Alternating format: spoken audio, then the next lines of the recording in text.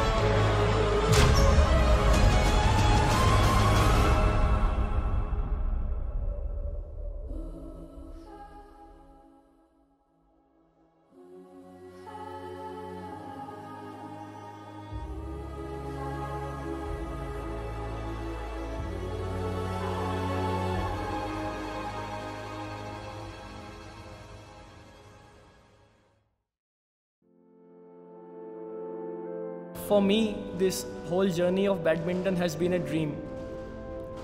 It was all written, I guess, and uh, it really seems magical. You know, once I uh, heard a quote from Vincent van Gogh.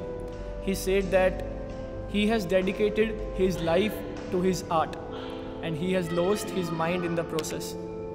It really sounded familiar because I gave every single thing of my life to badminton, every single ounce of my life to badminton, and I have lost my mind in the process.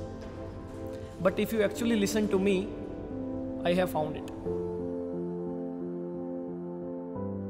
हम लोग general घर में खेलते थे हल्का फुल्का park badminton या कुछ भी।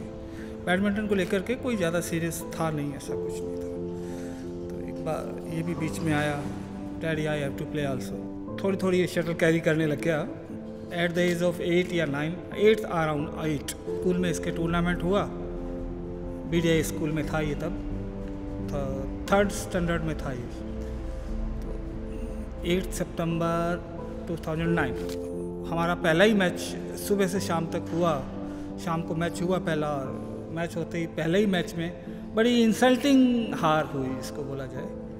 और इतनी इंसल्ट हुई कि हम चुप करके अपना घर वापस जा रहे थे, गाँव गाँव जा रहे थे तो रास्ते में चुप था ये, कोई बात नहीं कर रहा था, कोई बोल नहीं रहा था, कुछ भी ऐसा। हमने कहा, बेटा, जैसे सारे पेरेंट्स कन्विंस करते हैं बच्चों को, बेटा इजी कुछ नहीं हुआ, कुछ नहीं हुआ। क्या है, हार गए हार गए, चलता रहता गेम है पार्ट ऑफ़ द गेम लेकिन ही वॉज़ क्वाइट कुछ भी नहीं बोल रहा था। घर पहुँचते पहुँचते इसने बोला, बस डैडी, मुझे अब प्रैक्टिस कर धीरे धीरे हम लोगों ने उसको खेलना शुरू किया। सुबह शाम तीन चार घंटे, सुबह तीन चार घंटे, शाम को। एक टारगेट फिक्स करके हम लोग लग गए उसमें कि चलो अब कैरी करना ही करना है एनी हाउ और इसने भी बहुत मेहनत की। पूरा थक जाते थे, रोता था, पिटाई भी होती थी इसकी, सीधी सी बात सब कर करके और मैंने बोला, अब तूने पंगा लिया तो भैया इसको निभाना पड़ेगा। फिर उसके बाद एग्जैक्टली वो एक साल का जो पीरियड था सितंबर से नेक्स्ट सितंबर जब टूर्नामेंट आए डिस्ट्रिक्ट के बाद सीधा स्टेट चैम्पियन पहला लड़का था गंगानगर का जो स्टेट चैम्पियन बना। फिर डिस्ट्रिक्ट और स्टेट में इसकी परफॉर्मेंस के बेस पे इसकी पेपर्स में इंटरव्यूज़ आने लग गए कटिंग्स आने लग गई। भी एक बच्चा आठ नौ साल का है और अंडर फोर्टीन का भी स्टेट चैम्पियन है। प्लस इसकी आइडेंटिटी बननी शुरू हुई। I was the first player in the history of Sri Ganganagar to won the state championship for the very first time. Uh, I remember I was 10 years old when I played my first schooling nationals. So yeah, it was a big deal that time. And uh, now I am 8 times state champion and 15 times national player. But साथ साथ एक चीज़ और चल रही थी जब ये 17 हाँ अंडर 17 में आया तो ऊपर की कैटेगरीज में जाते वक्त हम लोग देख रहे थे कि जो पीछे की सारी कैटेगरीज थी वहाँ फिर एक ब्लैंक स्पेस बन रहा था कोई भी बच्चा इस लेवल पे जाके परफॉर्म नहीं कर पा रहा था कि वो जो एक लिगेसी बन गई थी, जो गंगानगर का एक ब्रांड नेम बन गया था, वो कंटिन्यूस रह पाता। तो फिर हम लोगों ने एक प्लान किया भी चलो कुछ बच्चे खेलना तो जानते हैं एबीसीडी तो पता है, पर उनको स्पेशलाइज नॉलेज चाहिए। उस स्पेशलाइज नॉलेज के लिए फिर हमने एक वेकेशन कैंप लगाया, एक महीने का जो समर वेकेशन होता है। देखा हमने कुछ बच्चे अच्छा परफॉर्म कर रहे हैं रेडी हो सकते हैं वो स्टेट के लिए, आगे की परफॉर्मेंसेस के लिए। तो उन बच्चों को स्ट्रेस किया हम लोगों ने, उनके ऊपर ज़्यादा ध्यान दिया। तो फिर बच्चे भी ज़्यादा एक ग्रुप बन गया, एक फैमिली टाइप एनवायरनमेंट बन गया। बच्चे भी कहने लग गए, सर, इसको कंटिन्यू करते हैं। लेट्स कंटिन्यू एवरीथिंग फिर सब लोगों ने मिलकर प्लान किया भी इसको एक स्कूल एक एकेडमी शुरू की जाए, जिसमें सारा प्रॉपर होगा सिस्टम और हम लोगों ने भी started let's fly So initially we started with one badminton court and uh, lump sum 20-25 students. And now we have seven different branches in different parts of the area with 15 badminton courts. And on a regular basis, uh, we train up to 900 to 1000 students per day.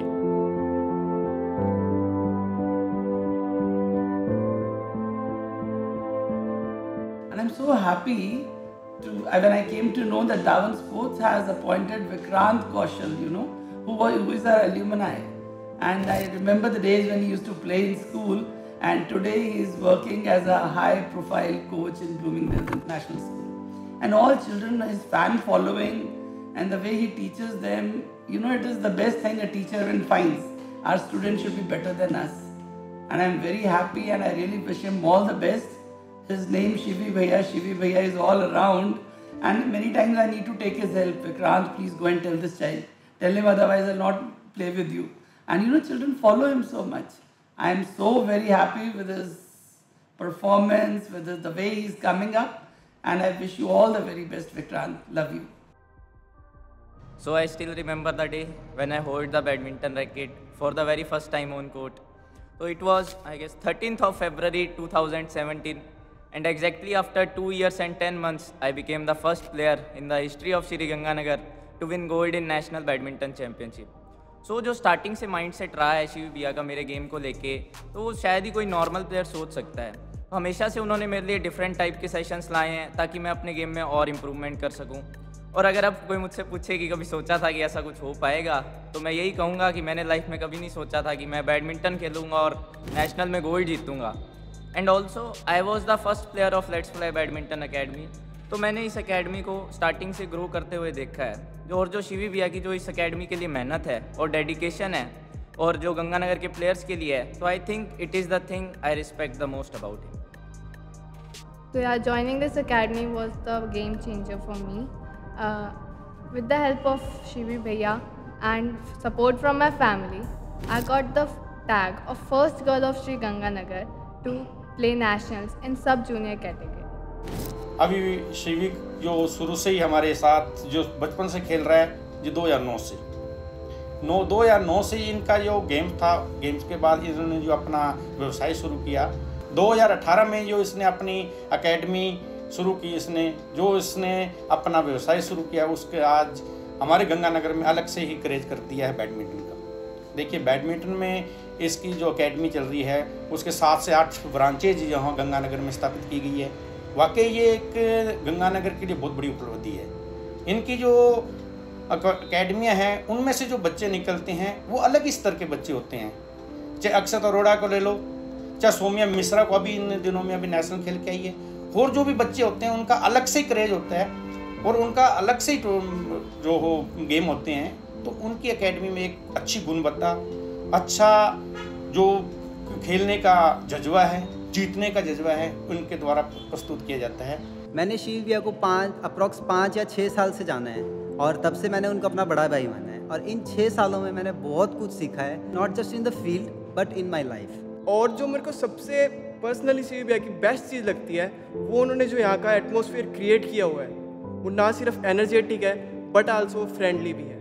और जो शिवी भैया हमें एक आवाज़ भी लगा देते हैं कि हाँ तुझे ये करना है तो वो हम करके ही हटते हैं। क्योंकि उनकी एक आवाज़ में जो जोश है ना, वो हमारे अंदर फील होता है। क्योंकि यहाँ पे गेम को लेके सब इतने फोकस्ड और पैशनेट हैं तो मुझे भी उनको देख के डेडिकेटेड रह के खेलने का मन करता है।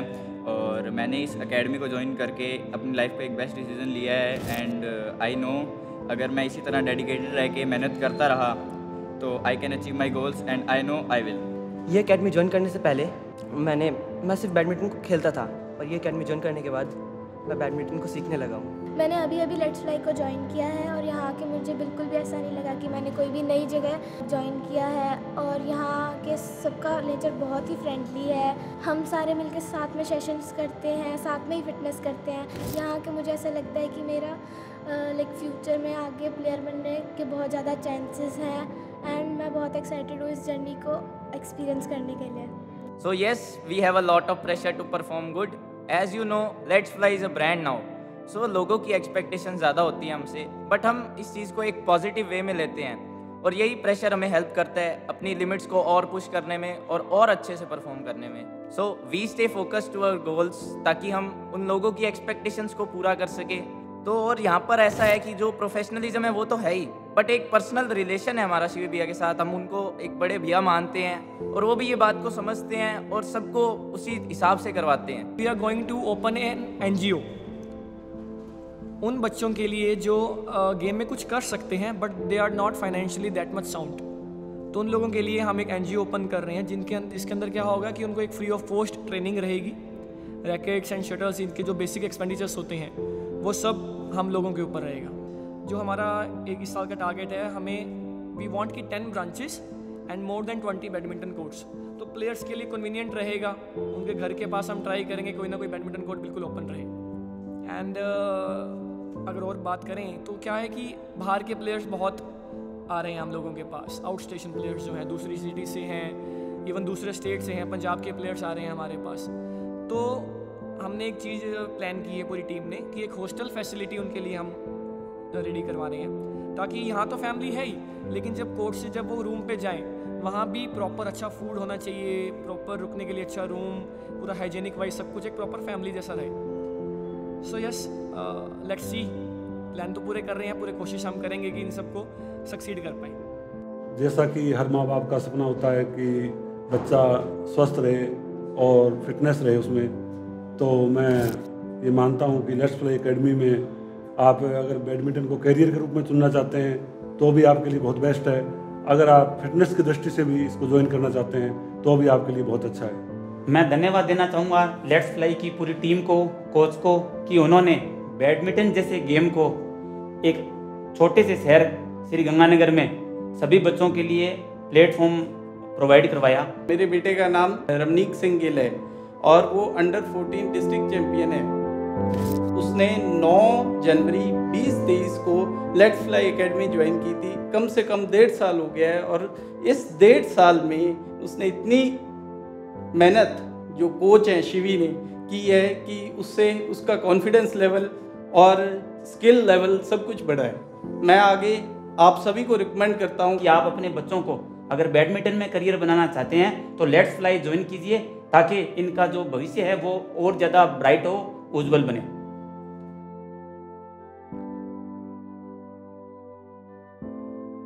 Every single day I feel blessed and gifted I just want to thank the all my T for choosing me thank you to the whole Let's Fly family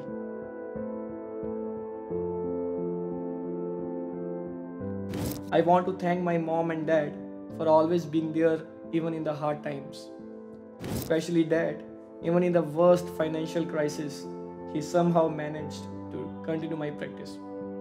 He is the main character in the whole journey. Without him, I don't think that would be possible. Thank you so much, Dad, for everything. I love you so much. The day I started this, I was alone. And now I have hundreds and thousands of dreams with me. वो कहते हैं ना कि मैं अकेला ही चला था मंजिल की तरफ़, मगर लोग साथ आते गए और कारवा मनता गया। To each and every one watching this right now this is not going to stop as I always say a lot more to come because Let's Fly is not only a badminton academy it's a family it's a dream and it's a journey